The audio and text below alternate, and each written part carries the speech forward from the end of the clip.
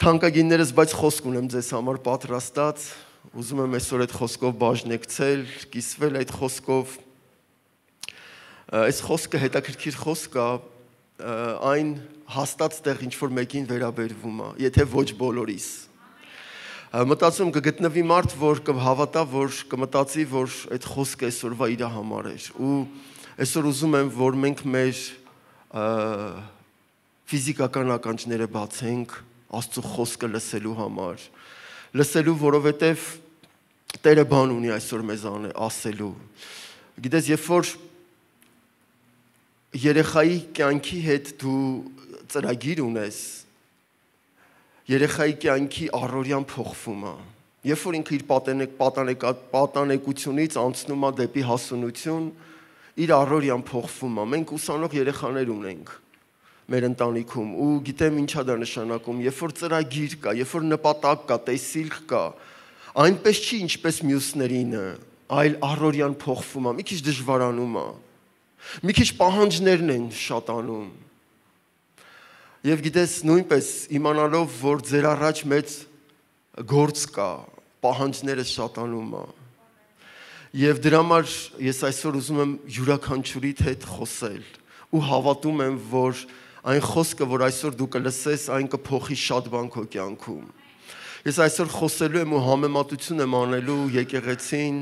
որովհետև գիտես, երբ որ նայում եմ Աստծո խոսքին, կարդում եմ Աստծո խոսքը, Աստված շատ բաներով մարդուն համեմատություն ներողություն համեմատության մեջ է դնում։ Աստված համեմատության մեջ է դնում մարդուն կենթանիների հետ, օրինակ գառների հետ,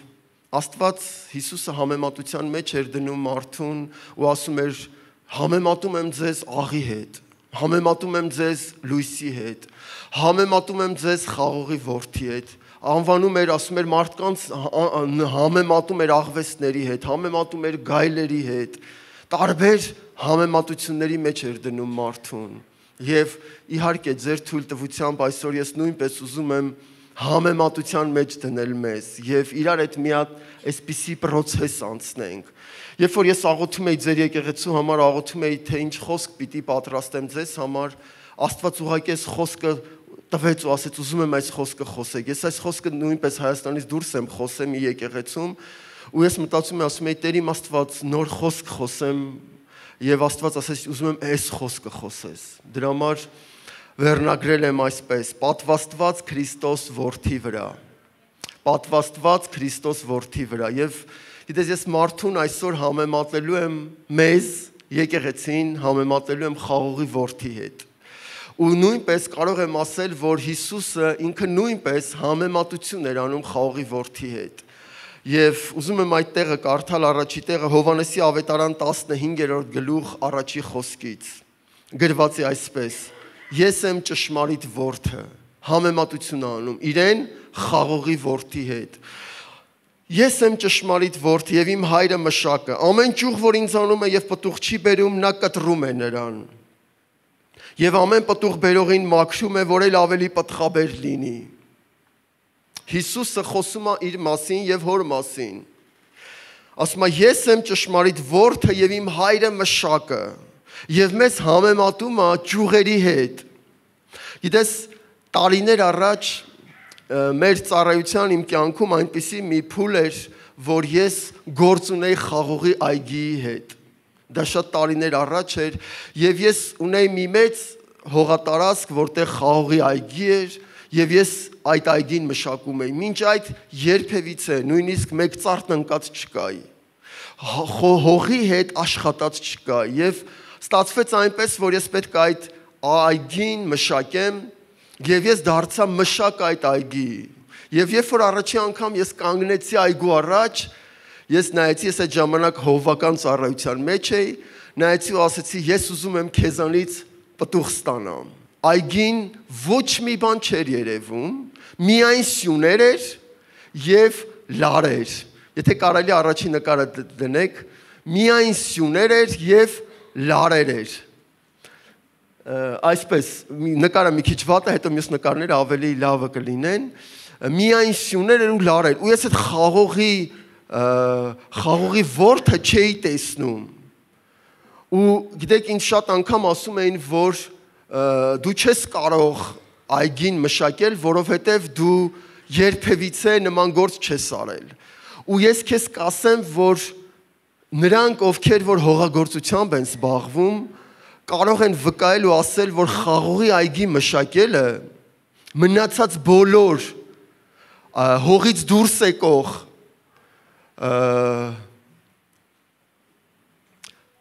այդ կլինի պամիդոր, կլինի վարունգ, բոլոր այդ տեսակի հողից դուրս եկող մշակություններից ամենաբարդն է։ Ամենաբարդն ու ամենաշատ աշխատանքն է պահանջվում։ Եթե որևիցե մի մշակություն, որ դու անում ես, պահանջվում է 2 կամ 3 կամ 5 աշխատանք, ապա սա 13-ից 15-ից բարձր է, ավել աշխատանք է պահանջվում։ Ու գիտես, երբ որ ես սկսեցի աշխատել հողի հետ, ես իհարկե գիտեի այս համարը։ Ու իմ մեջ կարծես կենթանանում էր, ու Աստված սկսեց ինձ հետ խոսել, թե ինչի նկատի ունի, երբ որ ասում է հայրս մշակն է։ Ես Հիսուս իր մասին ասում, ասում է ես որդն եմ, իսկ եկեղեցին մարդիկ ճուղերն են։ Ու ես աշխատում եմ ճուղերի հետ ուզում եմ շարունակել։ Դուք արդեն մաքուր եք այն խոսքի համար, որ ես ձեզ հետ խոսեցի։ Կացեք ինձանում եւ ես ձեզանում, ինչպես որ ճուղը իր անձում կարող չէ պտուղ բերել մշակ, ворթ, խաղողի ворթ եւ ճյուղեր։ Ինչպես որ ճյուղը իր անձում կարող չէ պտուղ բերել։ Եթե ворթի մեջ չմնա, այնպես էլ ոչ էլ դուք, եթե ինձանում չմնաք։ Ես ворթն եմ, դուք ճյուղերը։ Նա որ ինձանում մնում է եւ ես նրանում, նա շատ պտուղ է բերում։ Որովհետեւ առանց ինձ ոչինչ չեք կարող անել, հաստատեց Հիսուսը։ Եթե մեկը ինձանում չի մնում, նա դուրս կգցվի ինչպես ճյուղը եւ կչորանա եւ ժողովում են ժողովում են նրան եւ կրակի մեջ գցում եւ այրվում։ Եթե կենակ ինձանում եւ իմ խոսքը մնա ձեզանում, ինչ էլ որ կամենակ կխնդրեք եւ կլինի ձեզ։ Սրանով փառավորվեցավ իմ հայրը, որ շատ պտուղ բերեք եւ իմ աշակերտները լինեք։ Հիսուսը կարծես պատվեր է տալիս, ասում է լսեք, Դուք ճյուղերն եք, ես որդն եմ, հայրը մշակը։ Մշակը գիտի ինչ ա ուզում ստանա, մշակը իր ներսում գիտի։ Մշակը սկսում է աշխատել այգու հետ։ Եվ ասում են նրանք, ովքեր որ ճյուղեր են, բայց որդի վրա չեն, խոսքը ասում է նրանք կչորանան բայց նա որ որ worth-ի վրա է իր հետ պիտի աշխատանք տարվի որ այլ ավելի պատխաբեր լինի Որովհետև հերիք չի, որ ճյուղը մնա ворթի վրա։ Պետք է ճյուղի հետ աշխատել, որ ճյուղը պտուղ բերի։ Ամեն։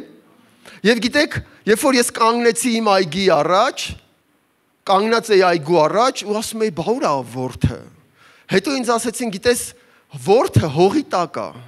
Ինչի՞ է ворթը լինում հողի տակ, որովհետև ձմեռը ցուրտը կտանի, իրան այսպես են ասում, թաղում են հողի տակ, որ ցուրտը չտանի։ Եվ երբ որ գարունա գալիս, մշակը սկսում է աշխատել, ինքը ворթը հողի տակից հանում է։ Ճյուղերը հողի տակից հանում է։ Ու հանկարծ Աստված ինձ հետ խոսեց, ասեց՝ դուք որ երբ որ մեռած էիք, ձեր մեղքերում ու ձեր հանցանքներում, երբ երբ որ մենք այդ հողի տակ էինք, գնում էինք այս աշխարհի սովորության պես, Օթի իշխանի իշխանության տակ լինելով, մեր մտքի կամքը կատարելով եւ բնության բարկության worth-իներ էինք։ Ու հանկարծ այդ ժամանակ Աստված մեզ ընտրեց եւ ասեց ես ուզում եմ որ դու ապրես եւ մեզ հողի տակից հանեց այնպես չի որ մենք սենց ամեն ինչում սենց սուրբ էինք կատարյալ էինք ու մեզ միայն Հիսուսն էր պակասում ոչ Ուզում եմ այդ տեղը կարդալ։ Եփեսացիս 2:1-ից 5-ը։ Եվ դուք որ մեռած էիք հանցանքներում եւ մեղքերում, որոնցում մի ժամանակ գնում եք այս աշխարհի սովորության պես, օթի իշխան իշխանության պես, այն հոգու պես, որ ներգործում է ապստամբության worthiների մեջ, որոնց մեջ մենք ամենքս էլ մի ժամանակ ման էինք գալիս, ամենքս։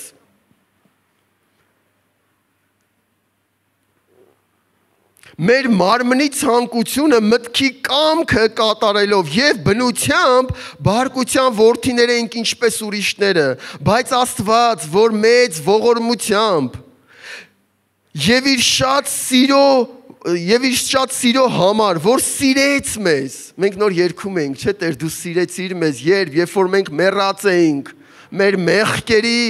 ցավերի, անեծքի ու հանցանքի մեջ Հիսուսը սիրեց մեզ։ Եվ մեզ կենթանի արեց Հիսուս Քրիստոսի հետ, որովհետև շնորհքով ենք փրկված։ Այսպիսով թանկագինս Աստված ինչպես է վարվում առաջինը Աստված մեզ փրկում է աշխարից։ Աստված մեզ հողիտակից հանում է։ Մեզ նոր կյանք է շնորհում։ Մեր վրա նոր լույս է գալիս։ Եվ գիտես, Ես այդ խաղողի ворթեր, այդ ճյուղերը, որ տարածված էր, հողի տակից հանում էի, այսպես թափահարում էի, որ հողը թափվեր եւ ստացվեց այնպես, որ ես ամբողջությամբ այդ խաղողի վազերը հողի տակից հանում էի։ Եվ նրանք շատ էին, շարքերով։ Գիտեք հանելուց հետո որ process-ը եկավ հանելուց հետո ճյուղերը այնքան շատ էին ու գետնին պարկած հաջորդ գործողությունը որ ես պիտի անեի ես իրան պիտի կապեի լարերից Ես իրան պիտի կապեի լարերից, որտեվ այնտեղ լարեր կար, որ ես իրան պիտի կապեի, որովհետև ես հարցնում եմ, եմ, հնարավոր չի sense գետնին մնա։ Ասեց, ոչ, եթե գետնին մնա, կտրորվի։ Եթե գետնին մնա ճյուղերը, բերք չի տա հողը կփչացնի, իսկ հողում շատ ворթեր կան, հողում շատ միջատներ կան, որ կվնասենք, պետք է կապել։ Ու ես հիշում եմ, երբ որ առաջի անգամ եկա եկեղեցի, ապաշխարեցի Աստծուն ընդունեցի իմ կյանքի մեջ որպես Տեր ու Փրկիչ, եւ ես ինձ հետաքրքիր էր, որն է հաջորդ գործողությունը։ Ինձ գիտեք ինչ արեցին, ինձ կապեցին։ Դուք ասես ինչի հետ կապեցին։ Ինձ կապեցին Աստծո խոսքի հետ։ Ինձ կապեցին աղոթքի հետ։ Ու գիտես, երբ որ ես այդ ճյուղերը կապում էի լարերին, այնպես չէր որ ճյուղերը, ճյուղերը ոնց ուզել այդպես աճել էին։ Այնպես չէր որ ճյուղերը համաչափ էին ու ինձ sense գեղեցիկ կապում էին այդ լարերի վրա։ Ոչ, որտեվ իմ ճյուղերը, իմ բնավորության գծերը աճել էր ոնց կար։ Ու ես մտածում էի, որ ես արդար եմ, ես մտածում էի, որ ես բարի եմ, ես մտածում էի, որ ինձանից լավը չկա, Ու հանկարծ ամեն անգամ, երբ որ եկեղեցի գալուց ես լսում էի, որ ես պիտի փոխվեմ, գալուց ես լսում էի, որ ես պիտի Աստծո խոսքի մեջ լինեմ, Աստծո խոսքը կարդամ ու իմ համար դժվար էր, որովհետև իմ առօրյայի մեջ չկար Աստծո խոսքը կարդալը նախկինում։ Իմ առօրյայի մեջ չկար ժամանակ հատկացնել աղոթքի կյանք ունենալուն, աղոթելուն։ Իսկ ես հովական ծառայության մեջ երկար ժամանակ եմ ու այնքան եմ լսել, որ մարդիկ ինձ ասում են հովիվ ինչ պարտադիր է կարդանք։ Ներողություն իմ աչքերը լավ չի տեսնում։ Ես որ Աստվածաշունչ եմ կարդում, իմ քունը տանում է։ Չեմ կարող, այդ տարերը այնքան էլ մաներ են գրված։ Հովիվ, չգիտեմ, չեմ կարողանում աղոթել։ Ես աղոթել չգիտեմ։ Այնքան նման արտահայտություններ եմ լսում, բայց եթե դու չկապվես, եթե դու գետնին մնաս, օրերից մի օր վնասվելու ես։ Ու գիտես, դա դա դեռ բավական չի, որովհետև այս մի կողմը կապել էին, բայց այս մի կողմը հələ կապված չէր։ Հետո ես ասեցի, ինչ կարող եմ անել, ինձ ասեցին, լսի, դու պետքա ծառայես։ Ծառայե՞։ Ես ծառայել բառը լսել էի զինվորական ծառայության մեջ, ես մասնագիտությամբ զինվորական եմ։ Հիմա զինվորական ծառայությունից դուրս ես պետքա եկեղեցում ծառայեմ։ Ինչ պիտի անեմ։ Այսինքն ինչ որ մի բան պիտի անես ու մեկ էլ հանկարծ տեսա թե ոնց են մյուս ջուղերս կապում կապում ծառայության հետ որովհետև բոլոր ծառայողները կվկայեն իրանք ամենաառաջինն են գալիս եւ ամենավերջինն են գնում Գիտես, երբ որ ես եկա կանգնեցի շարքում, ես չտեսա, որ ես շրջվեցի եւ իմ աթոռը մաքրեի նոր նստեի, որտեվ գիտեի մեկը ծառայում է։ Մենք այստեղ գեղեցիկ նստած գիտենք, որ մեկը մեզ ծառայել է, որը չի երևում։ Մեկ այդ ծառայության մեջ ներգրավված է։ Քիչ առաջ մեզ հյուրասիրեցին ու ես գիտեմ, որ մեկը ծառայել է։ Մեկ այդ ծառայության մեջ պատասխանատվություն ա վերցրել։ Ու գիտես, երբ որ ես սկսեցի գալ եկեղեցի, ինձ ասացին պետք է ծառայես, ես ասացի, ինչ կարող եմ անել։ Ինձ ասացին, դու կարող ես կարգ ու կանոնում ծառայել։ Ես ասացի, իհարկե, զինվորական ծառայություն ծառայողը կարգ ու կանոնի ամենալավ ծառայողը պետքա լինի։ Այս բազմա հազարանոց եկեղեցու մեջ գտել եք ում եք ընտրում, ում եք առաջարկում։ Այս հարցով դուք իմաստուն եք, գիտեք ում եք ընտրել։ Ու հետո գիտեք ինչ եղավ։ Ես ես ամաչում եմ, որ հիշում եմ, թե ես ոնց էի ծառայում։ Ես կանգնում ինձ միջև հիմա տենց որ եկեղեցու հին ծառայողները մեկ-մեկ հիշեցնում են, ասում են դու համազգեստով սենց գաստ կանգնում էիր ոչ մեկին չէիր ճպտում ու գիտես մեկ մեկ օր կարգու կանոնի ավակը ինձ կանչեց ու ասեց ուզում քո հետ խոսել բայց այս պատմությունը ես դեռ կպատմեմ գիտես հաջորդ գործողություն Աստված ինչ անում կապելուց հետո Կարելի է մյուս նկարը դնեք նախորդը, նախորդը, նախորդը, հաջորդը չէ, նախորդը, եթե կարելի է։ Աստված սկսում այդ ճյուղերը, որ սենց աճել են, ով որ կողմ ուզել, որտեվ կապել է, դու կապված ես, բայց քո ճյուղերը սենց տարածված են, քեզ կապել են, այո, դու ծառայության մեջ ես, դու Աստվածաշունչ ես կարդում, դու աղոթքի մեջ ես, նոր կյանք ունես Աստծո ներկայությունն ես վերապրում, զոհաբերում ես, քեզ կապել են։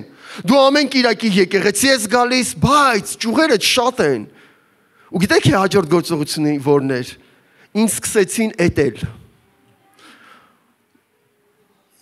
Նենց կուզեի այդ էտելը չլներ, որտեվ մեր կյանքի են ամենա ամենացավոտ։ Եթե դու երբևիցե այդ գյուղատնտեսական մկրատով, եթե երբևիցե մի ճյուղ կտրած լինես, գիտես ինչ զայնա գալիս ու մեկ էլ այս այս այս ճյուղը տեն այդում, մեկ էլ այս բնավորության այս գիծը տեն այդում։ Ու գիտես, երբ որ ես ծառայության մեջ ներգրաված եղա, ու գիտեք, երբ հա մարդու բնավորությունը երևում։ Ես այդտեղ ոչ մեկի բնավորությունը չգիտեմ ու չեմ էլ կարող ասել։ Հերիք է իրար այդ մի հատ գործ անենք, դու իմ բնավորությունը լավ կտեսնես, ես քո բնավորությունը լավ կտեսնեմ։ Ու գիտես հաջորդ գործողությունը ինձ հետ ինչ արեցին, ինձ սկսեցին հետել։ Հիմա վերադառնամ պատմությանը։ Կարգու կանոնի ավակ ինձ կանչեց, ասեց Վահե ջան, ապրես։ Լավ ես ծառայում։ Ասեցի, ու ես մտածում եմ, ասում, դե դե հա, ես գիտեի, նորություն չի ինձ համար, որտեվ ես զինվորական եմ, ես երկար տարի սովորել եմ։ Ես դրա մեջ եմ, ես զգաստ եմ կանգնում ազատել չեմ կանգնում կարգու կանոնի ծառայության մեջ։ Ես այդ ամեն ինչը շատ լավ գիտեմ։ Մեկը գիտեք ինձ ինչ ասեց, ասեց, բայց սխալ ես ծառայում։ Ու ես միանգամից մտածեցի, ասում Տեր իմ Աստված, ու ես մտածեցի, կարող է ինչ-որ միտեղ զինվորական տերմին ասեմ ռուսերեն, բայց թույլ ձեր թույլտվությամբ կասեմ, ինչ-որ միտեղ չեպե եմ թույլ տվել, որ ինչ-որ միտեղ զգաստ չեմ եղել, ինչ-որ ինչ-որ մի բան լավ չեմ արել, ու ես մտածում պետք ավելի խիստ լինեմ, պետք ավելի ուշադիր լինեմ։ Մեկը ասես, դսի, սա եկեղեցի սա զինվորական ծառայություն չի։ Ու այդ օրը ես հասկացա, որ ամենա ամենա վատ կարգու կանոնի ծառայողն եմ Ու ես հիմա գնացել եմ տուն ու մտածում եմ, Տեր իմ Աստված, ես կարկապահ զինվորական, որ որ այս մարդիկ ոչ մեկ այդ զինվորական ծառայությունը տես չեն անցել, իրանք չգիտեն, չեն սովոր, իսկ ես ու մեկ էլ Աստված գիտեք, ասես պետքա թույլ տաս, որ քեզ հետեն։ Ու գիտես, ես էլ կարկու կանոնի, բայց բայց այնպես չէր, որ ասացի եղավ, ես կլսեմ, ասի լսեք, լսեք, դուք սխալ եք հասկանում, դուք չգիտեք, դուք ինձ պետքա հարցնեք։ Հիմա կարկու կանոնի ավակետ վիճում եմ։ Դուք ինձ պետք է հարցնեք ինչպեսին պիտի լինի կարգու կանոնի ծառայողը։ Ասեմ դու գիտես որ եթե ես մեկին շփտամ էլ ինքը ինձ չի լսի, ինձ ինձ 6 տարի դրա մասին սովորեցրել են։ Եթե ծառայության մեջ մեկին շփտաս, ինքը էլ քեզ չի լսի։ Ես ոնց շփտամ այս ժողովրդին։ Սենց այս կարգու կանոնի ծառայողը գլուխը բռնեց ավակը, ասեց էսում այդ գործ ունեմ ես։ Իսկ ես պնդում եմ իմ իմ ասածը։ Ու գիտեք, հետո ես սկսեցի գնալ տնային խմբակ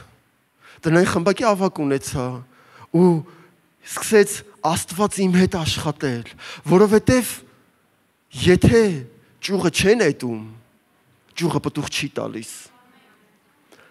Իսկ ես երկար տարիա հովիվ եմ։ Ես այնքան ծառայողներ եմ տեսնում, ցավոք սրտի, այնքան մարդկանց եմ տեսնում եկեղեցում, որ իրանք լավ ապարքև են, հիասքանչ ապարքև են, տաղանդ ունեն, որ ես դրա կեսի կեսը չունեմ, բայց այդված չեն։ Իրենց խոսքի մեջ, իրենց վարքի մեջ Պողոս Արաքյալը կասեր, որ քրիստոնյաներ կան, որ ես տեսնում եմ, կարծես թե խաչի թշնամիներ լինեն որ հին բնությամբ հին մարդ հարտնանում է հանկարծ ինչ որ մեկի ոդկը տրորում ես հանկարծ կամ մեկին չես բարևում ինքը նեղանում է եկեղեցի չի գալիս այն հին մարդը ու հասկանում ես որ այդ մարդը թույլ չի տվել որ իրան հետեն Իսկ ես երբեք, երբեք ու երբեք չեմ տեսել, որ հովիվը մեկին զորով բռնած էտելուց լինի։ Այդ ուզենա փախնի այդ ծառայողը կամ այդ անդամը հովիվ ասի, չէ, չէ, բռնեք։ Ծառայողները բռնել են, հովիվն էլ էտում է, տենց չեմ տեսել երբեք։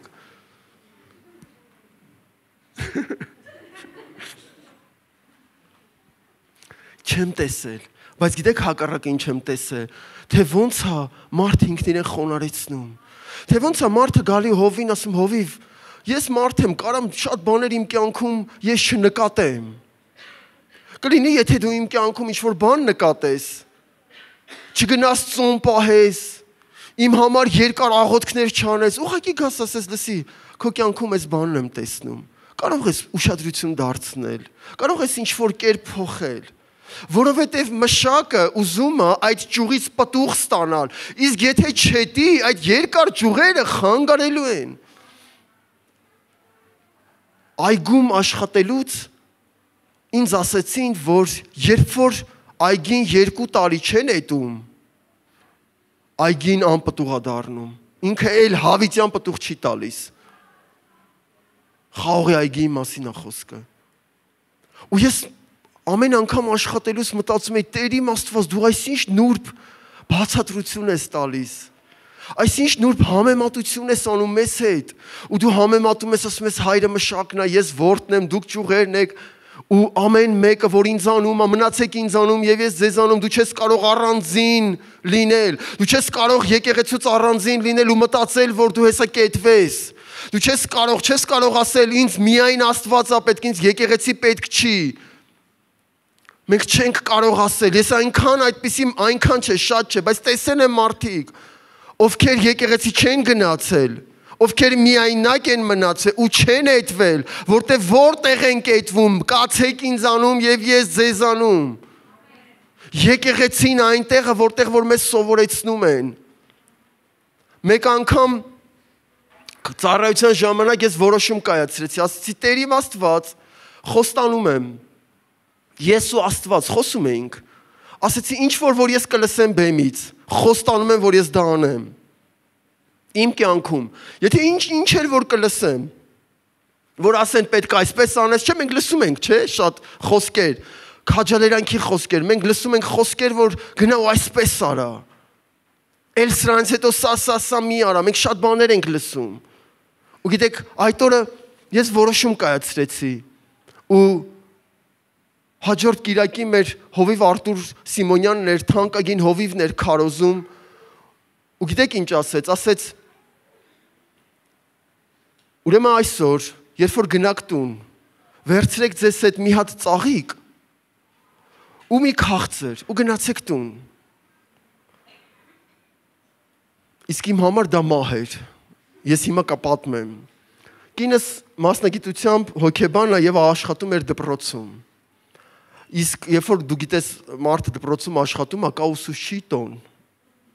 Իսկ ես այդ ժամանակ աշխարհիկ էի։ Երբ որ իր ուսուցչի տոնն էր, ես մենք ընկերություն էինք անում, ես պետք է իր շահեի, որ իմ հետ ամուսնանար, չէ՞, պետք է իր դուրը գայի։ Իսկ ես երբեք ու երբեք ես մտածում էի ծաղիկ, տղան ծաղիկը չպետք է իր ձեռքը վերցնի։ Դա ամենամեծ մեղքը կլինի, որ տղան ծաղիկը, տղան ինչ, տղան ուր ծաղիկը ուր։ Ու գիտես, երբ որ իր այդ ուսուցչի տոնն էր, ես երկու տղա ինձ հետ վերցրեցի, գնացինք իրանք ծաղիկ, ես ծաղիկին չեմ կպե։ Հասել ենք դասարան, դասարան դուրս եկել եմ, կինս դասարանից դուրս է եկել։ Ես այդ տղայի ձեռքից ծաղիկը վերցրել եմ ու տվել եմ, ասել եմ շնորհավորում եմ։ Այդպես, այդքան ես մտածում եի, որ պետքա տղան ծաղիկ չվերցնի ու հանկարծ ապաշխարել եմ։ Իմ էտելու էտվելու ժամանակն է։ Այն ցավոտ ժամանակն է, որ ցավում է, դուրդ չի գալիս։ Դու ամբողջ կյանքը տենց ապրել ես, հիմա հասկանում ես, որ այդպես էլ պետք է չապրես։ Ու ես ու երբ որ հովիվն ասեց գնացեք տուն, ես չէի ուզում այդ օրը տուն գնայի։ Ասեցի դե լավ, խոստացել եմ, պիտի անեմ։ Գնացի ծաղիկը վերցրեցի, հիմա չգիտեմ որտեղ պահեմ որ ոչ ոք չտեսնի գլուխս կախ արագ-արագ գնացի քաղցրը վերցրել եմ ու գնացի տուն գնացի տուն դուրը ծեծեցի իսկ այդ ժամանակ կինս եկեղեցի չէր գալի որտեղ մեր փոքրը ծնվել էր ու ինքը շատ փոքր էր դեռ այդ մի պահ եկեղեցի չէր գալի կինս երեխայի այդ տանն էր ու մտնում եմ տուն եկել դուրը բացեց հա եկել է արի արի ու ես մտա ներս մեկ էլ սենց սպասում եմ, չէ, որ տղամարդիկ ինչ որ լավ բան են անում, սպասում են, որ իրանց գովան, փոքր երեխայի պես, չէ, որ լսի ես ինչ լավ է սարել։ Ու մեկ էլ կինս տեսավ, ասում հա, ծաղիկ ես բերե դիր ընդեղ։ Հիմա ես այդ ծաղիկը ձերքս կանգնած եմ, ասում եմ, ես ինձ խաչեմ։ Ծաղիկ առնեմ, գամ տուն։ Ու փոխանա գրկի մի հատ ասի շնորհակալ եմ, վայ, սիրելիս, ասեց հա դիրնդեղ դրեցի դար դրեցի ինտեղ մտածում ու մեկ էլ սենց համ ով էր քարոզում հովիվը ասում հա ասում էր ինչ ինչի մասներ քարոզում ասում էր որ ծաղիկ կտանեք տուն դե գիտի իմ բնավորությունը որ ես տենց չեմ ես էլ խոս չի ասի չէ որտեվ ինքը գիտի որ ես ին վրա աշխատում եմ որտեվ երբ որ դու սկսում ես քո հետ աշխատել բոլորն են տեսնում ու ես ասացի այո Հովիվ ասեց, ես էլ բերեցի։ Սենց ներսս նեղված, թե ինչի արեցիր։ Ու մեկ էլ եկավ կանգնած, կանգնեց իմ դիմաց, նայեց աչքերիս մեջ, ինձ համբյուրեց ու ասեց. «Ինչա, պիտի հովիվ ասի, որ անես»։ Ու ես ասեցի. «Չէ, դե ես փոխվում եմ»։ Իսկ գիտես տղամարդու համար այդ ինչա։ Թանկագիններս Աստված մենք պետքա թույլ տանք, որ Աստված մեզ մշակի Մենք պետքա թույլ տանք, որ Աստված մեզ հետի։ Իսկ Աստված գիտեք ում միջոցով է մեզ հետում։ Ծառագողների։ Գիտես, պետքա դու լինես այն մարդը, որ հովին հեշտ լինի քեզ ուղղելու, հեշտ լինի քեզ դիտողություն անելու, ասելու, որ գիտես, այս բանը քո կյանքում այդքան էլ լավ չի։ Կարաս ուշադրություն դարձրա։ Ու գիտես, դու կասես, սկզբից այտում են ու վերջ, ոչ։ Մեզ միջև հիմա էլ այտում են մենք միջև հիմա էլ կարիք ունենք, որտեվ գիտես ապրում ես, մտածում ես ամեն ինչ լավ է, ամեն ինչ հիասքանչ է, մեկ էլ տեսնում ես մի հատ ճյուղ, փոքր ճյուղ, դուրս է եկե։ Ու դու չես էլ նկատե ծառայության ժամանակ ամիշ որ բան մեկ է տեսնում ես ներսիցդ մի հատ դժգոհություն։ Ներսիցդ մի հատ մի բան որ քոնը չէր, մտածում, բայց քոնն էր, ոնց քոնը չէր, դի խո կողքինինը չէր։ Ներսիցդ հանկարծ վիրավորանք։ Մի բան քո ուզածով չարեցին։ Մի բան դու առաջարկեցիր ու քո առաջարկ ասեցին չէ, քո առաջարկը լավը չի, մյուսինը կընդունենք։ Ու հանկարծ դու ընկնում ես այդ ակիթոփելի խորհրդի մեջ։ Ծառողները կիմանալու մասին եմ ասում։ Դավիթի խորհրդականներից մեկն էր, որ գնաց ու կախվեց, որտեվ իր խորհուրդը չանցավ։ Իսկ գիտեք դա որն է, դա բնավորություն է։ Իսկ գիտեք ես ինչ եմ նկատել Ես քեզ հիմա մի խոսք կասեմ, թող դա քո համար հայտնություն լինի։ Թանկագինս մեզ երկինք չի տանելու մեր տաղանդները։ Մեզ երկինք չի տանելու մեր Աստծո մեջ վերապրումները։ Մեզ երկինք չի տանելու մեր լավ քարոզները։ Մեզ երկինք չի տանելու մեր շփտալը, չգիտեմ, ինչ ինչ բան կարող ես, գիտեք ինչն է մեզ երկինք տանելու, մեր բնավորությունը։ Մեր բնավորության պատճառով մենք երկինք կգնանք։ Ամեն որտեվ բնա ոչ թե տաղանդն է որոշում։ Գիտես դու կարող ես լինես ամենատաղանդավորը, դու կարող ես լինես ամենաճարտարախոսը, դու կարող ես հրաշքներ անել։ որ ասում հիվանդների վրա ձեռք դնես, հիվանդները բժշկվեն, մարգարեություններ անես, ամբողջ ունեցվածքդ վաճառես ու աղքատներ, ամեն ինչ կարող ես անել, բայց եթե քո բնավորությունը Իսկ սիրելը դա բնավորության գիծ է, որոշում է, որ դու կայացնում ես։ Չլինի, մենք խնդիր ենք ունենալու։ Դրա համար Աստված մեզ կապելուց հետո սկսում է մեզ էտել սկսում է մեր բնավորությունը, որտեվ գիտես, եթե դու առաջ խոսում էիր մարդիկ նեղանում էին քեզանից, հիմա մարդիկ օրտնվում են քեզանով։ Եթե առաջ դու չէիր կարողանում նորմալ մեկին խորհուրդ տալ, հիմա դու մի հատ խոսք ես ասում, մարդիկ ասում են, լսի, ես ինչ իմաստուն բաներ ես ասում, ու տեսնում ես, որ Աստված գործ արե, քո բնավորությունը փոխվել է։ Ամեն։ Առաջի Կորինթացից թղթում մի հատ խոսք կա գրված, ասում է, որ սկզբից հոգևորը չի, սկզբից շնչավորն է, հետո հոգևորը։ Ինչի է սկզբից շնչավորը։ Շնչավորը դա բնավորությունն է։ Եթե դու ուզում ես լավ հոգևոր մարդ լինես, թույլ տուր քո բնավորության հետ մարդիկ աշխատեն։ Դու հարցրա քո ընտանիքի անդամներին, ինչ կա քո բնավորության մեջ, որ իրանց դուր չի գալիս։ Ով կարա ինձ դիտողություն անի։ Հələ մեկը թող համարցակվի ինձ ուղղելու։ Ոչ։ Ոչ, Աստծո խոսքն ասում է Հիսուսը խոնարհվեց ու մինչև մահ խոնարհվեց խաչի մահով։ Ամեն։ Հաջորդը հաջորդը մեզ ուրեմն Աստված մեզ հողից հանեց, Աստված մեզ կապում է ծառայություններին, լավ սրա մասին էլ մի բան ասեմ։ Լսի, եթե դու ծառայող ես, ուրեմն դու հələ ներողություն եմ խնդրում։ Լավ, դու չէ, այդ խաղողի ճյուղը հələ գետնին է։ Եթե դու դեռ ծառայություն չունես, եթե դու դեռ մտածում ես, որ դե ինքնին թող ջահելները թող ծառայեն։ Այդ ջահելները sense թե նես ծառայում են։ Բա դու ինչ անես։ Չէ, չէ, ես կգամ կնստեմ մի բան արա, մի բան արա։ Եթե քեզ, չգիտեմ, դու կարող ես ինչ որ բան մաքրել, ինչ որ բան ուղղել, ինչ որ բան միտեղից միտեղ, մի բան արա Աստծո տան մեջ, մի հատ ծառայություն արա, որ հողի վրա չմնաս։ Իսկ գիտեք, ստատիստիկան ինչա ցույց տալիս, որ եկեղեցու 80% աշխատանք անում են 20% մարդիկ։ Իսկ մյուսները ուղակի ունկնդիրներ են։ Խնդրում եմ, մի ծառայույց, եթե դու ծառայող ես,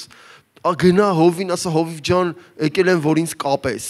Ինձ կապի, ես ուզում եմ կապված լինեմ Քրիստոս այդ որդին կպած լինեմ, ուզում եմ ծառայության մեջ լինեմ։ Ամեն։ Այն նոր դրանից հետո հովիվը կսկսի քեզ հետել, բայց եթե դու կապված չես, ինչ հետի, հողի վրա ում հետեն։ Ամեն։ Հաջորդը Գիտես, հաջորդ գործողությունը սկսում է քեզ վրա բողբոջներ դուրս գալ սկսում է տերևներ դուրս գալ, ծաղիկա դուրս գալի, հոտավետություն անգնում, որտեվ առաջ որ դու գնում էիր կռիվներ էր, առաջ որ դու գնում էիր խռովություններ էր, ոչ մեկ չէին ուզ իմ մասին ասեմ, ուր որ ես գնում էի կռիվներ էր, ուր որ ես գնում էի մարդիկ խռովում էին ինձանից, ես ասում էի դե չեն ուզում թողի մեծ մտերմություն չանեն, գնում էի մարդիկ վիրավորվում էին, բայց Հիմա Աստծո մեջ սկսում է տերևներ դուրս գալ։ Մարդիկ սկսում են քեզանից քեզանով օրտնվել։ Ուզում են քո ներկայության մեջ լինեն։ Առաջ դու տխուր էր քիթդ կախ, հիմա հակառակը դու ուրախ ես։ Իսկ ուրախ մարդկանց բոլորն են ուզում ուրախ մարդկանց հետ շփվել։ Ամեն։ Հիմա քո տերևները դուրս է գալիս։ Հիմա դու բողբոջում ես, հիմա դու պտուղ ես բերում։ Հիմա դու մարդկանց հետ խոսում ես ու մարդիկ Աստծո խոսքից հայտնություն են ստանում։ Որովհետև դու կապված ես Աստծո խոսքի, դու արդեն խոսքը գիտես, դու խոսում ես մարդկանց, մարդիկ օրտնվում են, դու ավետարանում ես, դու պատուղ ես բերում, դու աղոթում ես մարդկանց համար, սկսում է սկսում են բողբոջները, ծաղիկները դուրս գալ ու այգին կանաչում է, կարելի է փոխել հաջորդ նկարը։ Այգին կանաչում է։ Այգին կանաչում է տերևներով հիասքանչ տերևներով, հա չի երևում։ Ես էլ նայում ինքան լավ է իմ մոտ երևում ձեր մոտ չի երևում։ Լավ պատկերացրեք կանաչ կանաչ այգի։ Ու հիմա այգին աճում է գեղեցիկ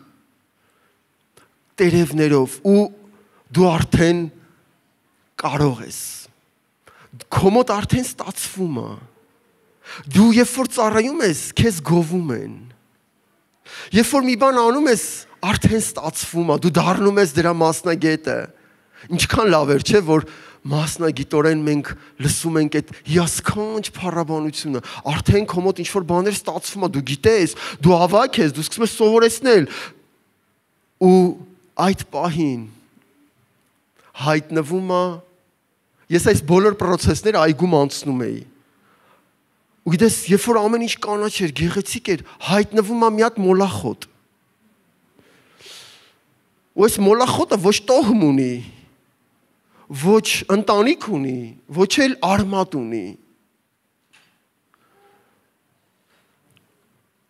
Այս մոլախոտը բարձրանում, այս մոլախոտի անունը գայլուկ է։ Եթե դու գիտեք ինչա դա նշանակում, գիտեք ինքը ինչ անում, ինքը փաթաթվում է այդ նոր դուրս եկած ճյուղերին։ Եվ մի քիչ երևում է։ Ինքը փաթաթվում այդ նոր եկած նոր դուրս եկած ճյուղերին ու գիտեք ինչ անում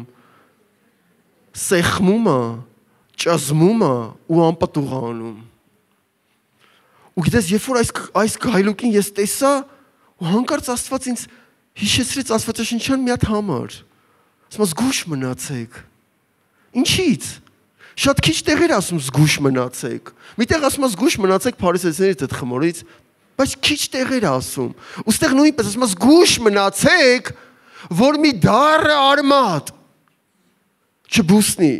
Այդ արմատը ուր էր, որ ես հələ կապված էի, ոչ մի ճյուղ դուրս չէր եկե։ Այդ կանաչ տերևները դուրս չէին եկի։ Ուր էր այդ արմատը։ Այդ արմատը չկար, որտեվ ես այդ ժամանակ ինձանից ոչ մի բան չէի ներկայացնում։ Ես գալիս էի ասում էի, ինչ լավ քարոզ է, իսկ հիմա ես հետևում եմ ամեն խոսքին։ Ես նայում եմ, որ հանկարծ մեկը չսխալվի, հենց մեկը սխալվեց, ես պիտի, որտեվ ես գիտեմ, որ ամեն ինչ պիտի ճիշտ լինի, բայց Բոլորը չեն որ ճիշտ են անում։ Ու այս մոլախոտը բարձրանում է, փաթաթվում է ու անպտուղ անում։ Ու գիտես ինքը ճունի, ասում եմ նորից, ճունի ոչ մի տոմ։ Ու եթե դու իրան փոքր փոկես, ինքը մեկ ուրիշ տեղից հաճում։ Դրա համար խոսքը կասեր զգուշ մնացեք, զգուշ մնացեք, որ մի դառ արմատ չբուսնի, ասում են նրանով շատերը չփխծվեն։ Գիտեք եկեղեցիներում ես ինչ եմ նկատել, ովքեր են շեղում բերում։ Եկեղեցիներում շեղում չեն բերում նորահավատները, որտեվ իրանք բան չգիտեն։ Եկեղեցում շեղում են բերում հին հավատացյալները։ Ով ասում որ սենց է։ Իսկ գիտեք որ ես մի հատ ուսմունք եմ լսել, մի հատ քարոզ եմ լսել, եկեք էսի մենք մեր եկեղեցու մցնենք։ Այ մարդ, հələ սպասի։ Դուք հասկանում եք ինչի մասին եմ ես խոսում։ Ես այնքան խորը բան եմ ասում քեզ։ Ու հանկարծ ինչի պիտի այս բանը ստեղ լինի, ինչի պետքա այնտեղ չլինի։ Ինչի պետքա այս ժամին սկսենք։ Ու սենց հարցեր, հարցեր, փողոքներ։ Ու մեկի ուզում ես ասես, լսե դար արմատը որտեղից, ախր դու լավ ծառայում ես, ով գայթա կղեց քեզ, ով կախարդեց քեզ, դու այնքան լավ ես ծառայում։ Ու մեկի հանկարծ տեսնում ես ծառայի կյանքում ինչ որ մի դրսևորում ու մտածում ես Տեր իմ Աստված, ախր այս մարդը այնքան լավն էր, ով է քո հետ խոսացե, ում հետ ինչ խոսեցիր, ով քո աչքերը բացեց, ինչ պատահեց քեզ։ Դու ախր միաբան ես, իսկ հիմա բողոքներ ես ներկայացնում։ Ես ձեր եկեղեցու մասին չի։ Ես ես սկզբից ասեցի ձերը ոնց է, ես գնահատականը տվել եմ արդեն։ Թանկագիններս մենք պետքա զգուշ մնանք Գիտեք այդ դեպքում ես ինչ էի անում։ Ես այդ դեպքում մի հատ մեծ ասեցին, որ մի ձև կա, որ դու կարող ես այդ գայլուկը հեռացնես։ Ինքը կպնում է, մտնում է ճյուղի մեջ ու սկսում է այդ հյութը խմել։ Գիտեք ինչ հյութ, որը կոչվում է միաբանություն, որը կոչվում է սեր, որը կոչվում է նվիրվածություն, որը կոչվում է ծառայություն, ու մեկ էլ ասես ներսդ ինչ որ մեկին նկատմամբ, ծառայողի նկատմամբ բանա դուրս գալիս, ասում ես զգուշ մնացեք։ Ու գիտեք ես ինչ էի անում։ Ես վերցնում էի մի հատ մեծ կտոր, փռում էի այդ վազի տակ, որ ինքը հանկարծ մի փոքր անգամ կտոր չմնա վազի վրա, չընկնի, որտեվ ինքը մի փոքր մնաց նորից աճում է։ Ու եթե դու ուշադիր չես լինում, ամբողջ վազը ապականում է։ Այդ մի փոքր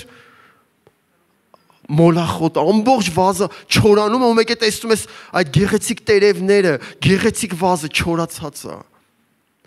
Իսկ թանկագիններս մենք կանչված ենք պտուղ բերելու։ Այդ գեղեցիկ տերևները, որ դուրս են գալիս, դրանից հետո գիտես հայտնվում է պտուղը։ Ես չեմ կարող ասել, Տեր իմ Աստված, ես չեմ ուզում պտուղ բերել, ես մենակ աճել եմ, կանաչ եմ, եկեղեցում եմ ամեն ինչ լավ, ես սենց մնամ։ Ոչ։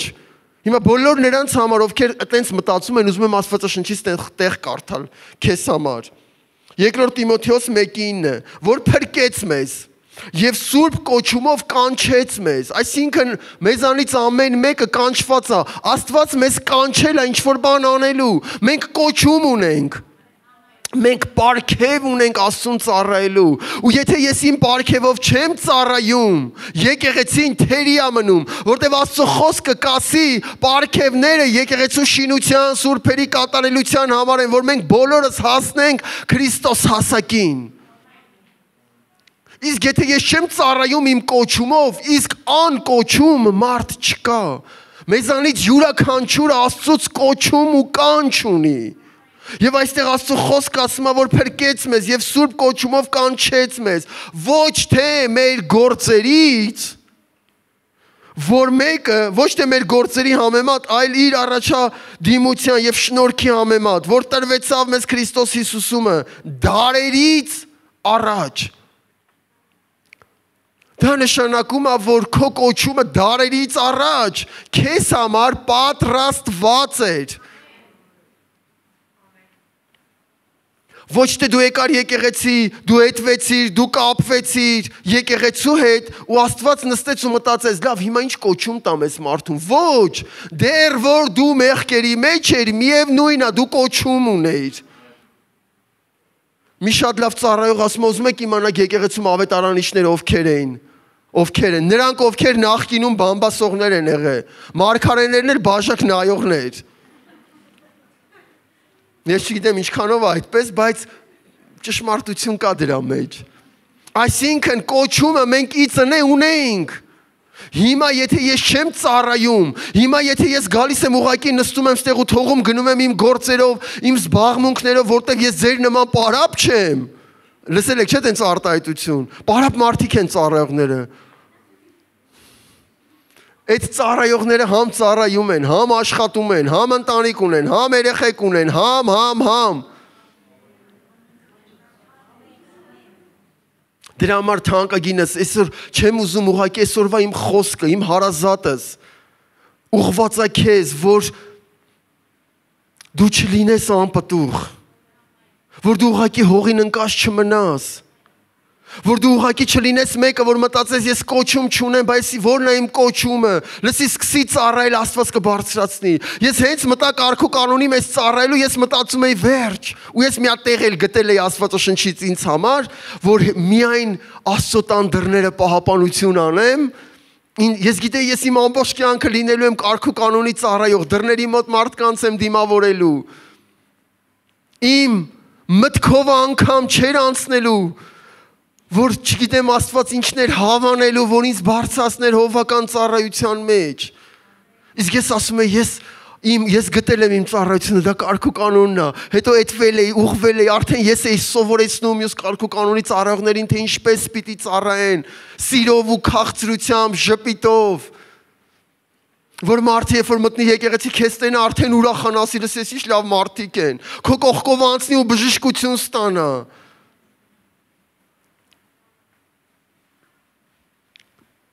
ոչ թե ես գամ ուղակի եկեղեցի նստեմ ու թողեմ գնամ իմ տուն իմ գործերով իմ աշխատանքներով ոչ աստծո նպատակը սա է ես ամենասկզբից կարդացի Աստված մշակն է ու Աստծո նպատակն է որ դու պատուղ բերես որ դու եկեղեցում ինչ որ մի բան անես։ Ամեն։ Ու գիտես այնքան երջանիկ մարդ կլինեմ, որ երբ որ ես գնամ, իմանամ, որ այսօրվա խոսքը քո կյանքում պտուղ է բերե։ Այն որ ասացի ֆիզիկական ականջները լայն բաց լսելու համար։ Լսես ու գնաս ու անես։ Ու գիտես ինչ կլինի։ Օրհնված եկեղեցի, որովհետև Եթե եկեղեցին ունի օրինակ 10 պարքև, 10 պարքևից ընդամենը 3-ը ծառայեն, այն 7-ը չծառայեն։ Եկեղեցին 7 պարքևով զուր կա լինում, թերի է լինում։ Իսկ դու ապարքև ես, որ քո ապարքևով պիտի ծառայես։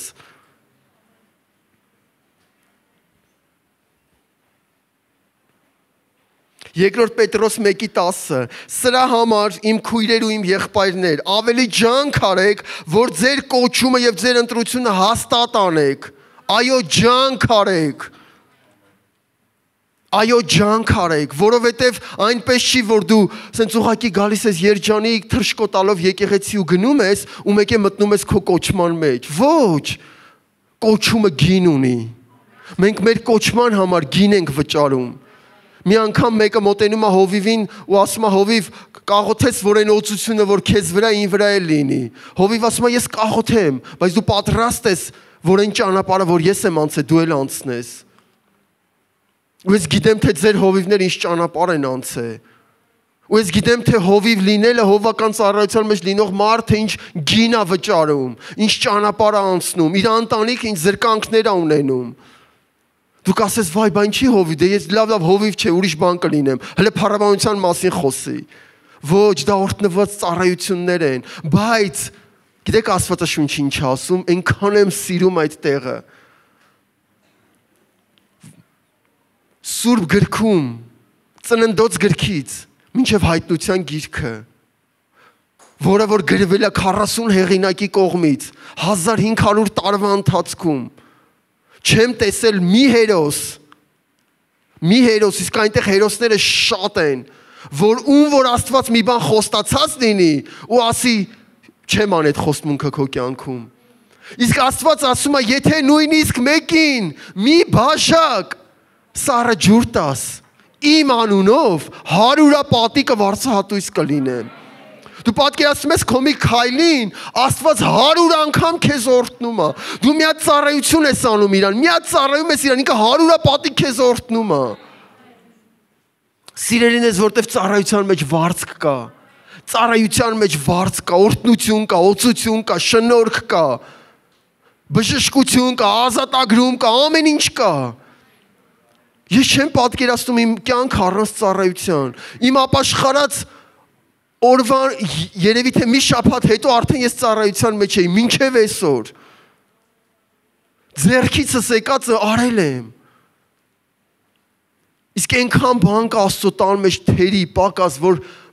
Աստված քեզ բերել է, որ քեզանով լրացնի։ Բայց դու հələ ասում ես, հələ թողեք մի երկու տարի էլ էլի։ Սենց հələ մի քիչ էլ անցնեմ։ Ոչ, այսօր է քո ծառայության օրը։ Ու այսօր վերջում ենք քո համար աղոթելու ենք։ Աղոթելու ենք, եթե դու հələ գետնին ես, դու կապվես։ Եթե դու կապվել ես, բայց հələ այդված չես, աղոթելու ենք, որ քո սրտում գա այդ ցանկությունը այդվելու։ Եթե դու այդվել ես, մտնես ծառայության մեջ, պտուղ բերես։ Որտեվ սա մի հատ process է, որ մենք մեր ամբողջ կյանքով անցնում ենք։ Ամեն։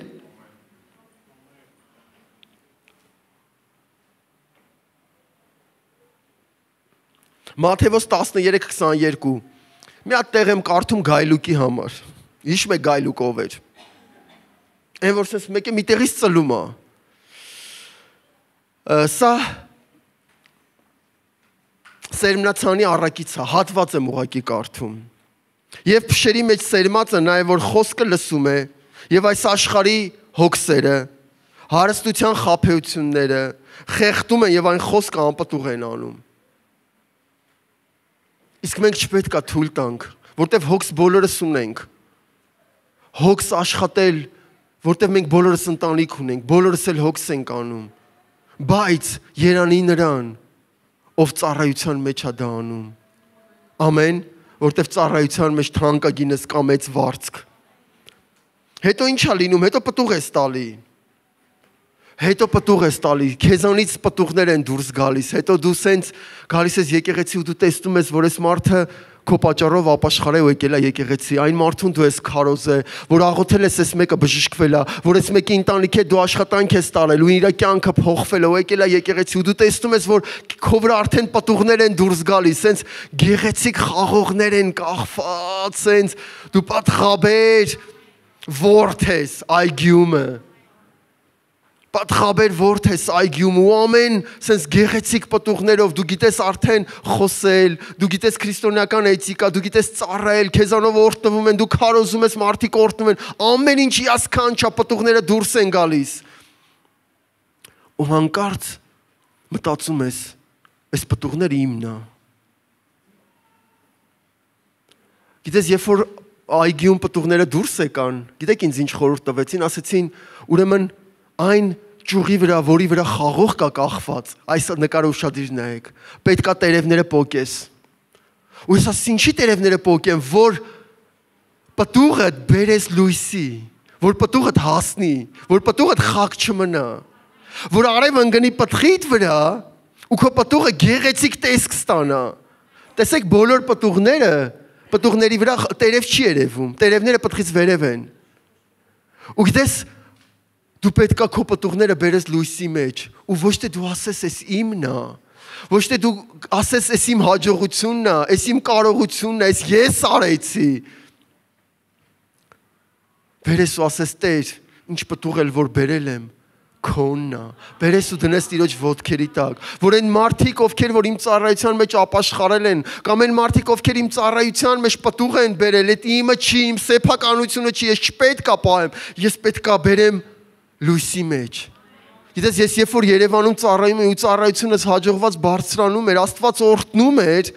հանկարծ օրերից մի օր հով ինձ կանչեց ու ասեց՝ «Դսի, ես քեզ ուզում եմ ուղարկեմ Մարս» հովական ծառայության։ Ես Երևանի տղա եմ, ես Երևանում եի ապրել ու մեծացել։ Ու ես իմ ընտանիքին վերցրեցի, վեշերս հավաքեցի ու գնացի Մարս ծառայելու։ Ու ես չհարցրեցի, քանի տարի, մի տարի, երկու տարի, երեք տարի կծառայեմ, հետո բայց էլ չեմ ծառայի։ Ոչ, գիտեք ինչքան մնաց։ Ես որոշել էի, որ եթե հովիվս որոշելա, որ ես իմ ամբողջ կյանքս մնամ այդ մարզում, այդտեղ ծառայեմ, ես այդտեղ կմնամ ու կծառայեմ։ Ու 10 տարի 10 տարի ես այդ մարզում հովվական ծառայության մեջ ծառայում էի։ Ու հետո հովիվս կանչեց ու ասեց, Հիմա ուզում եմ որ դու հետ գաս Երևան։ Ես չասեցի Հովիվ ջան, մենք արդեն շենք ունենք, մենք արդեն էս ունենք, այն ունենք, շենքեր ունենք, ծառայողներ ունենք, այս ամեն ինչ, ամեն ինչ կա։ Եկեղեցին բարձրացել, աճել է, եկեղեցում ծառը բոլոր ծառայությունները կա, մանկական խնամքի կենտրոնները, ամեն ինչ հիասքանչ կա։ Հովիվ ջան, ես այսքան պատուղը ոնց թողեմ գամ։ Գիտեք ես ինչ արեցի։ Ու ես ես դրա մասին չգիտեի Մեկ շաբաթվա ընթացքում ես իմ վեշերը հավաքեցի իմ ընտանիքի հետ ես վերադարձա Երևան։ Որտեվ գիտեք ինչի, որտեվ ծառայությունը, ծառայության տերը ես չեմ։ Հողի բերքի տերը ես չեմ։ Աստված է։ Աստված եթե որոշել է այսօր այս ծառայության մեջ լինես, գլուխդ կախ, հավատարիմ, ջանքով ծառայ ծառայության մեջ վաղը հովը կասի վերջ Հիմա ես քեզ տեսնում ես ծառայության մեջ, չասես, հովի ջան կնի ուրիշին ասես։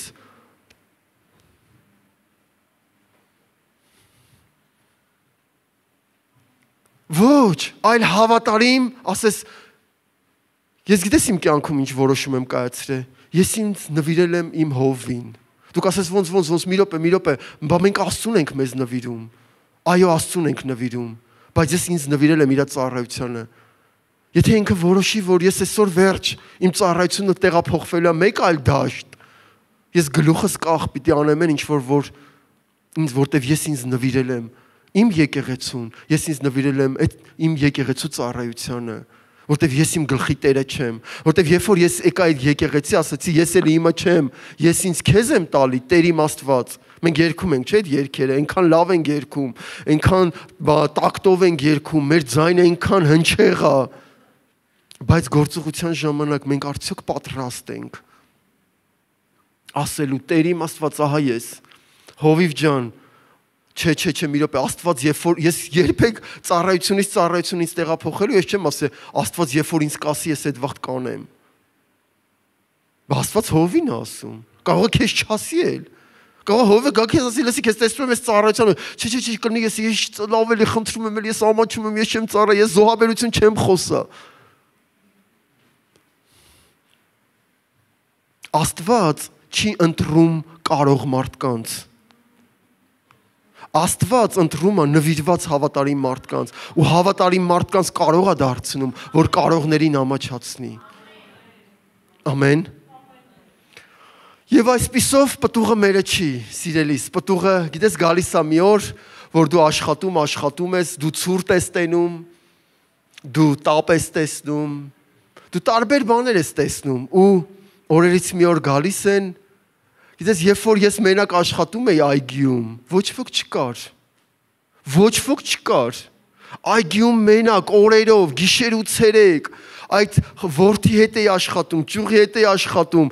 խաղող հետ, պտղի հետ էի աշխատում, ոչ ոք չկար այգիում։ Միայն մշակներն էին այգիում։ Հենց բերքը հասավ մեքենաներ, մարդիկ, ընտանիքներով բոլորը լցվեցին այգի լցվեցին, որ տանեն մի բան, որ իրանցը չի։ Դու աշխատել ես, դու ստեղծել ես ու հանկարծ գալիս են ու քո պտուղը տանում են։ Հանկարծ գալիս են ու խաղում են։ Խաղում ու տանում են պտուղը, որտեվ այդպես էլ պետք է լինի, որտեվ պտուղը մերը չի։ Ամեն։ Ու գիտես, ու դրանից հետո գալիս աշուն տերևները թափվում է ու մտածում ես քո կյանքում աշնան սեզոնը, որտեվ տերևները թափվեց, պտուղը տարան, բայց բոլոր նրանց համար եմ ասում, ովքեր աշուն են վերապրում, սпасի ու կգա գարունը։ Կգա գարունը նորից քո ճյուղերը կաճեն, նորից այդ խաղողի հյութը կլցվի քո ճյուղերի մեջ, որթից կգա դեպի քեզ, նորից դու պտուղ կբերես, որտեվ սա է եկեղեցու ընթացքը, թանկագինս, եկ Այսպես ենք մենք ապրում, այնքան ժամանակ միջև Տերը կգա։ Ուզում եմ ամփոփեմ, վերջացնում եմ արդեն։ Ուրեմն սիրելիս Տերը մեզ փրկեց, Տերը մեզ հանեց հողից։ Տերը մեզ կապում է։ Տերը մեզ էտում է։ Հետո Տերը մեզ պտուղ է տալիս։ Հետո մենք բերք ենք տալիս։ Հետո բերքը գալի ու խաղում են, որտեվ բերքը մերը չի։ Ու այսպիսով սիրելիս այս process-ը ընթանում է։ Իսկ մենք հավատարիմ լինելով ճյուղի վրա։ Ուզում եմ կարելի է նվագեք։ Ուզում եմ առաջի խոսքը, հիմա այնքան տպավորիչ դու կպատկերացնես այդ առաջի խոսքը։ Ուզում նորից ընթերցել առաջի խոսքը։ Ես եմ ճշմարիտ որդը եւ իմ հայրը մշակը։ Ամեն ճյուղ, որ ինձ անում է եւ պտուղ չի բերում, նա կտրում է նրան եւ ամեն պտուղ բերողի մաքրում է, որ էլ ավելի պտղաբեր լինի։ Դուք արդեն մաքուր եք այն խոսքի համար, որ ձեզ հետ խոսեցի։ Կացեք ինձանում եւ ես ձեզանում, ինչպես որ worth-ը իր անձում կարող չէ պտուղ բերել։ Մնացեք ինձանում եւ ես ձեզանում եւ դուք շատ պտուղ կբերեք։ Եվ Եթե որդում չմնա, այսպես էլ ոչ էլ դուք եթե ինձանում չմնաք, ես որդն եմ դուք ճյուղերը։ Նա որ ինձանում մնում է եւ ես նրանում նա շատ պտուղ է բերում, որովհետեւ առանց ինձ ոչինչ չեք կարող անել։ Եթե մեկը ինձանում չմնա, նա դուրս կգցվի, ինչպես ճյուղը եւ կչորանա, եւ ճյուղ եւ ժողովում են նրան եւ կրակի մեջ գցում եւ այրվում է։ Եթե մնաք ինձանում եւ ես ձեզանում, դուք շատ պատուխ կբերեք։ Եվ սրանով կփառավորվի իմ հայրը, որ պտուղ բերեք։ Եվ վերջում թանկագինս ուզում եմ այս խոսքերը կարդալ Մաղաքիա 3-րդ գլխից Եվ ես պիտի կշտամբեմ ձեզ համար ուտողին, որ նա չափականի ձեզ համար երկրի արդյունքը եւ ձեզ ձեզ համար անպտուղ չլինի որքը որթը այգիում ասում է զորած Տերը եւ ձեզ պիտի երանի տան պատկերացնում ես որպես եկեղեցի եւ ձեզ պիտի երանի տան բոլոր ազգերը որովհետեւ դուք պիտի ցանկալի երկիր լինեք ասում է Տերը ահա սա է Տիրոջ Ահա սա է մշակի երազանքը, մշակի տեսիլքը, երբ որ ձեռները քշտած մտնում այգի, այգու հետ աշխատելու համար։ Հիմա եկեք ոտքի կանգնենք։ Հիմա մենք սիրելի սաղոթք ենք անելու։ Աղոթելու ենք, որ ես գիտեմ մեզանից ամեն մեկը իրեն տեսավ այդ process-ի մի հատվածում եկեք աղոթենք որ Տիրոջ կամքի մեջ լինենք ու շատ պտուղ բերենք Սիրելի այր մենք քեզ փառք ենք տալի մենք շնորհակալ ենք Տեր քո թանկ ներկայության համար Շնորհակալ ենք, որ դու մեզ հետ ու մեր մեջ ես։ Շնորհակալ ենք Տեր, որ դու ես մշակը եւ մենք ճյուղերն ենք։ Հիմա աղոթում ենք քեզ Տեր։ Ահա մենք մեզանից ամեն մեկը կանգնած քո առաջ մենք որոշում ենք կայացնում, որովհետև սիրում ենք քեզ, որովհետև պաշտում ենք ու պատվում ենք քեզ։ Ահա մենք Տեր։ Եթե Տեր իմ Աստված մեզանից կա մեկը, որ կապված չի, կապված չի եկեղեցու հետ, ծառայության հետ, խոսքի հետ, քեզ հետ ժամանակ անցկացնելու հետ, օգնիր մեզ, կապիր մեզ, մենք թույլ ենք տալիս կապիր մեզ Տեր քո հետ, քո ծառայության հետ, եկեղեցու հետ, մեր սիրտը կապի հովի հետ, ծառայողների հետ, թող որ մենք կապված լինենք մեկս մյուսով։ Եթե մենք այդված չենք, Տեր օգնիր մեզ, ետիր մեզ, աշխատի մեր բնավորության հետ, փոխիր մեզ, դարձրու մեզ պատվական անոտ, պատրաստ ամեն բարի գործի համար։ Ուզում ենք պատուղ բերել, ուզում ենք ճյուղերս մեր տարածել բերք առատ լինի այգիումը ու մենք մեր պարքևով ծառայենք Տեր քո մարմնին որ մենք Տեր իմ Աստված ոչ թե անտարբեր լինենք այլ ջանասիրաբար մեր պարքևով մեզանից եկած մեր ձեռքից եկածը անենք քո մարմնի մեջ Շնորհակալ ենք Տեր որ դու մեզ ընտրեցիր որ դու մեզ կանչեցիր որ դու մեզ բերեցիր դեպի քեզ օրհնում ենք քո զոր ու քո սուրբ անունը։ Շնորհակալ ենք ամենակարող Աստված։ Ամեն։